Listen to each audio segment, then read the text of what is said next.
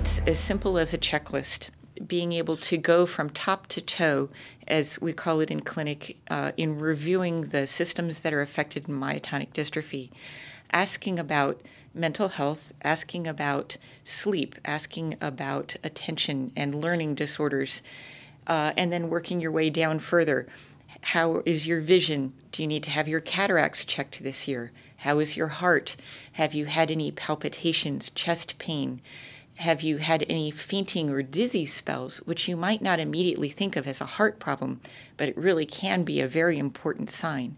asking your doctor, I need to have an EKG every year, even if it looked normal last year, you need it to have it every year. Checking your lung function. Your lungs are really one of the most important organs in your body. Don't abuse them by smoking. Make sure that you've been vaccinated for your flu shots and for pneumovax vaccinations to help prevent those things that we can prevent. Um, swallowing problems. Sometimes it's hard to eat when you have myotonic dystrophy and things may go down the wrong way. When that happens, food and drink, if they get into your lungs, can give you pneumonia, and that can be life threatening. So that's something we want to be able to prevent. So if you have any swallowing problems, coughing or choking when you're eating, tell your doctor so a speech therapist can help you either change your diet or change how you eat so that you're at less risk for this um, some more top to toe uh, problems. Uh, uh, gastrointestinal problems are really common. Doctors often mistake this for irritable bowel syndrome.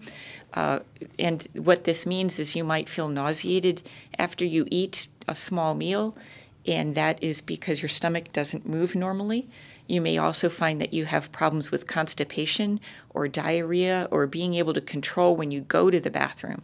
All of these things can be part of myotonic dystrophy. Um, your endocrine system is involved. Diabetes is very common, which ironically has the same abbreviation as myotonic dystrophy. So your doctor might be confused if you see DM1 or DM2 on your chart.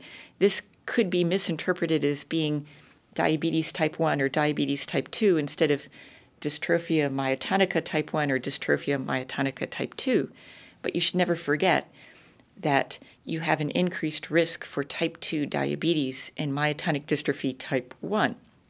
This is something that can occur even if you have normal body weight. So, this is not a disorder of obesity in myotonic dystrophy patients, and it's something that can be managed with diet and sometimes medication. Uh, other endocrine problems, thyroid problems, are, are fairly common and hormonal problems can be common. So, in men, testosterone levels may be low, and in women, periods may be irregular.